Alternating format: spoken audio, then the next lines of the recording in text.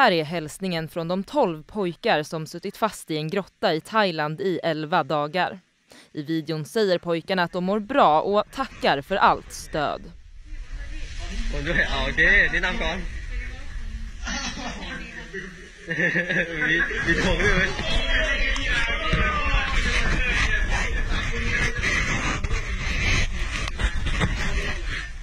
Det var i måndags som gruppen hittades vid liv av dykare som arbetat flera dagar med att ta sig fram i grottan.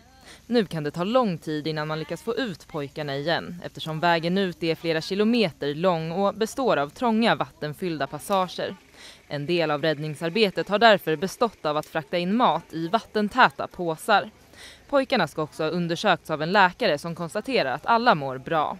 Enligt grottexperten Torbjörn Djuvfält finns det olika alternativ för att få ut gruppen ur grottsystemet.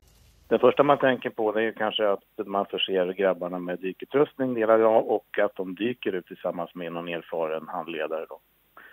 Sen finns det en möjlighet att borra sig in som man gjorde i grottolyckan i Chile för 8-10 år sedan. Och sen för det tredje så finns det möjligheten att torrlägga grottan om det är möjligt. Alltså det ska jag inte säga är säkert. Och låta vattnet sjunka undan och det kan ju gå lite olika fort. Så det är de tre alternativen som finns.